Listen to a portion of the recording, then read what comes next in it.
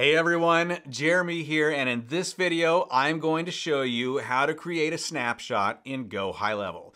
There are a few different ways to do it, but I'm here to give you the simplest method. So before we dive in, I have something special to mention. If you haven't signed up for GoHighLevel yet, I have an amazing bonus offer just for you.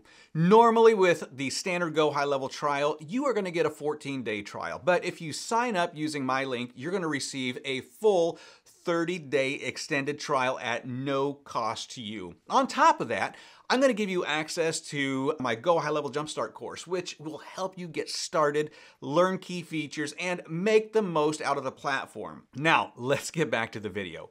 First, it's important to understand that to create a snapshot, you need to have a sub account. Without a sub account, you won't be able to compile all the elements necessary for a snapshot. If you don't have one yet, you'll need to create a brand new sub account. Now, the sub account acts as a foundation for everything that comes next. So the first thing that you need to do is head over to your GoHighLevel account and create a new sub account.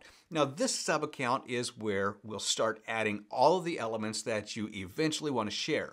Essentially, everything that we put in here will be compiled into a snapshot that you can easily share later on. Now, since we already have a demo sub account set up, we don't need to create a new one right now. Instead, we'll go ahead and directly create a snapshot using the elements in our existing sub account. So to create a snapshot, you need to be logged into your agency account. Now, once you're logged in, go ahead and click on the Account Snapshots tab in the menu on the left-hand side. Now, this will take you to your snapshot page.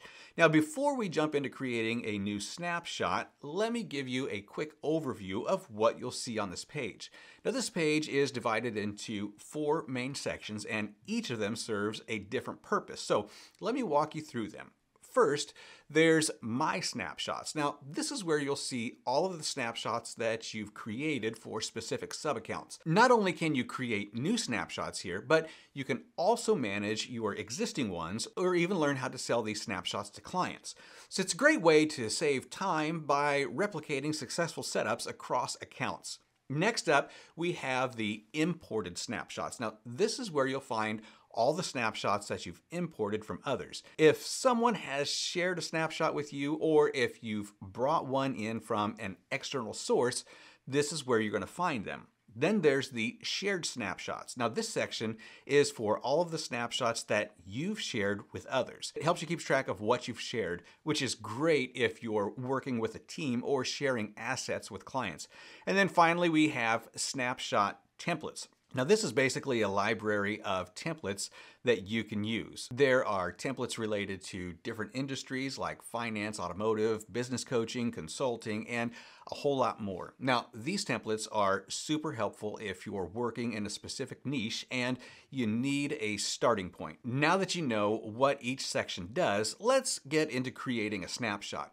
It's really easy. Just head over to the My Snapshots section and click on the Create New Snapshot button at the top right corner of the screen. Now, when you click on that, a pop-up window will appear. In this window, you need to enter a name for your snapshot and select the sub-account that you want to create the snapshot for.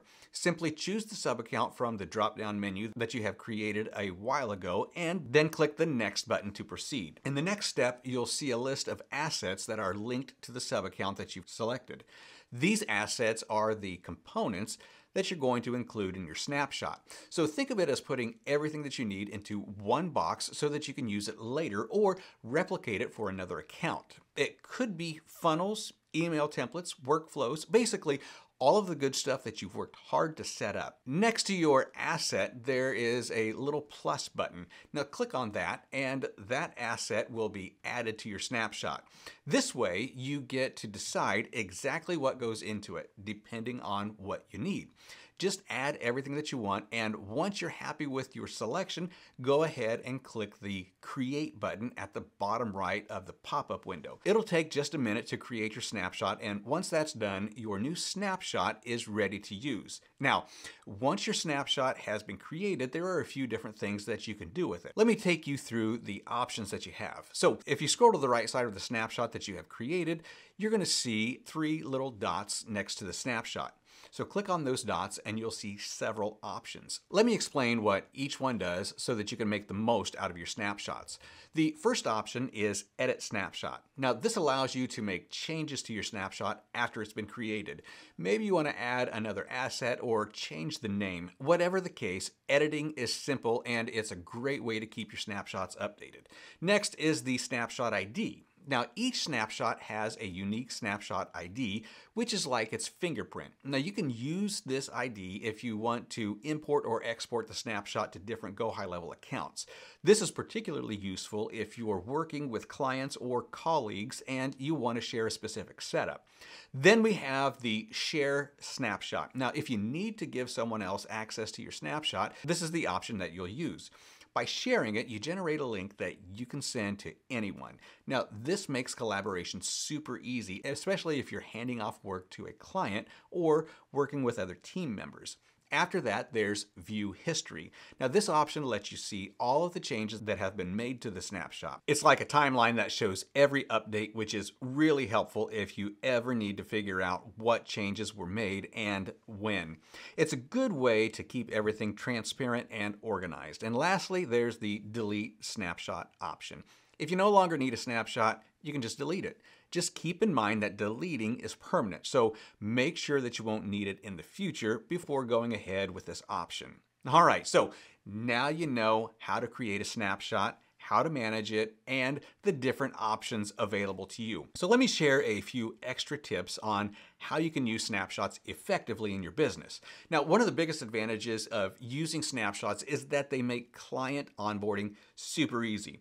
Let's say that you have a particular setup that works really well for a certain type of client. Instead of recreating that entire setup every single time, you can just use a snapshot to quickly apply it to new sub-accounts.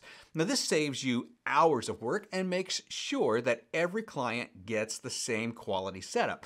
Another great way to use snapshots is to create versions for different industries. For example, you could have one snapshot for real estate clients, another for coaches, and another for e-commerce. This way, you are not just saving time, you're also tailoring the experience to fit the specific needs of each client type. Also, if you're collaborating with a team or outsourcing some of your work, snapshots make everything a lot easier. You can share snapshots with your team members and they'll have everything that they need to hit the ground running. It makes sure that everyone's on the same page without the hassle of manually copying settings. Snapshots also help maintain consistency. If you've had a successful campaign and you want to replicate it across different accounts, snapshots allow you to do just that without any risk of missing important details. Consistency is key especially if you're running multiple campaigns for different clients. And there you have it, my friends. Creating a snapshot in GoHighLevel is super simple but the possibilities it opens up are huge. If you're ready to take your business to the next level, don't wait. Use my special link in the description to get an extended 30-day free trial of GoHighLevel, twice as long as the standard offer. Plus, you're going to get access to my GoHighLevel Jumpstart course where I walk you through everything that you need to know to get started quickly and effectively. So thanks so much for watching, and if you found this video helpful, be sure to like it and subscribe for more GoHighLevel tips and tutorials.